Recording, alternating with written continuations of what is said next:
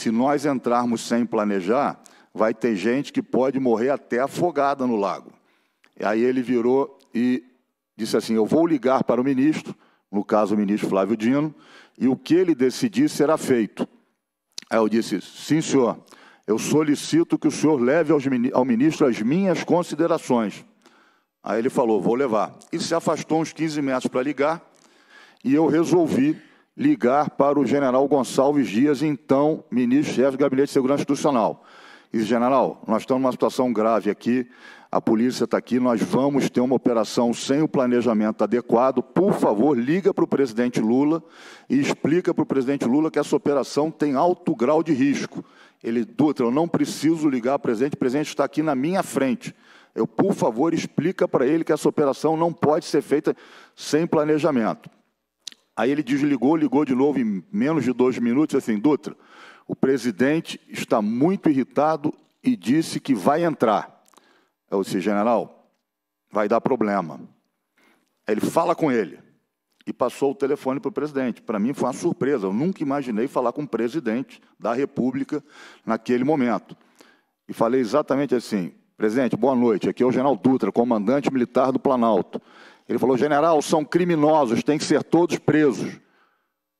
Eu disse, uh, presidente, ninguém tem dúvida disso, estamos todos indignados, serão presos.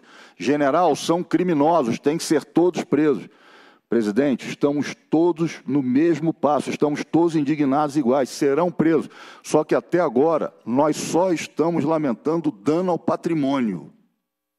Se nós entrarmos agora sem planejamento, podemos terminar essa noite com sangue. O presidente Lula, eu tenho uma admiração pela inteligência emocional dele. Ele, na mesma hora, falou: seria uma tragédia. E falou assim: general, isola a praça e prende todo mundo amanhã. Eu virei, presidente, muito obrigado pela compreensão do senhor. Dentro das possibilidades, uma boa noite. Ele virou, o ministro Múcio está aí com o senhor? Eu disse, não. Ele disse, deveria estar. E desligou o telefone. Nesse momento, o doutor Ricardo Capelli já estava próximo a mim. Eu convidei o doutor Ricardo para nós entrarmos no CMP.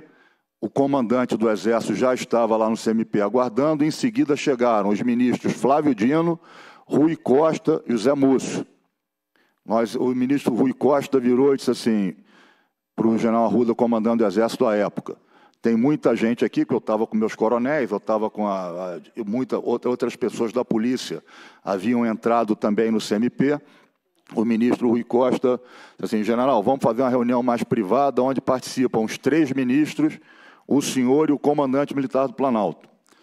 E aí nós fomos para uma sala mais fechada, uma reunião extremamente cordial, nenhuma desavença, e começamos a coordenar a operação. E aí um dos ministros, não me lembro qual, perguntou, general, quantos manifestantes tem aí na praça? Eu disse, de 1.200 a 1.500, ministro. Aí ele respondeu, tudo isso? Aí eu disse, tudo isso. Como é que nós vamos tirar eles daí? Disse, nós precisamos de ônibus. Aí eles perguntaram, o senhor tem ônibus? Eu disse, não, para essa quantidade não. Eu acho que o ideal seria usar os ônibus deles que estão estacionados na Granja do Torto. Aí o ministro Flávio Dino disse: Isso é impossível. Esses ônibus já foram entregues à Justiça e vai ser dado perdimento. Esses ônibus só podem ser empregados com autorização da Justiça.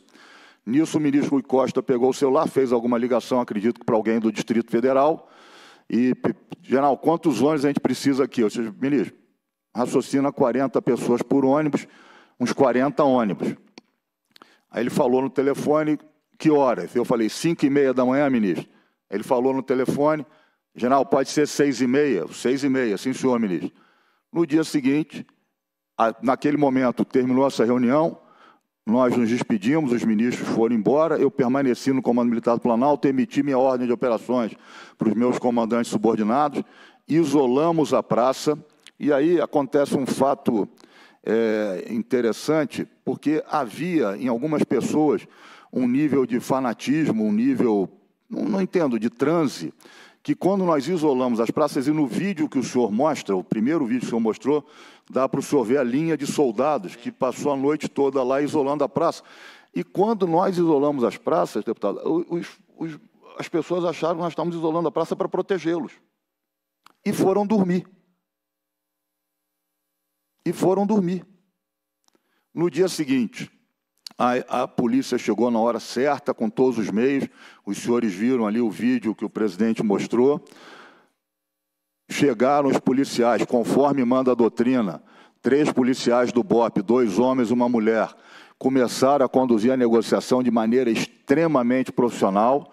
A negociação foi conduzida, eu aproveito aqui também para esclarecer, há uma maldade, há uma maldade dizendo que as pessoas entraram naqueles ônibus sem saber para onde eles estavam indo. Ninguém entrou naqueles ônibus sem saber para onde estava indo. Foi avisado que eles estavam indo para a Polícia Federal, foi avisado que eles iam passar por uma triagem, foi avisado que ali ia ser verificado o que cada um fez. Ninguém entrou nos ônibus sem saber para onde estava indo.